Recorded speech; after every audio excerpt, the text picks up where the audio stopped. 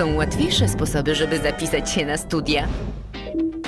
Nie musisz wychodzić z domu. Wszystko możesz zrobić online. Za pomocą konta kandydata zapiszesz się na dowolne studia, dodasz swoje dokumenty i zdjęcie. Biuro rekrutacji zdalnie sprawdzi Twoje dokumenty. Jeśli będą czytelne, dostaniesz powiadomienie, że możesz przejść do kolejnego kroku. Następnie elektronicznie podpiszesz umowę z uczelnią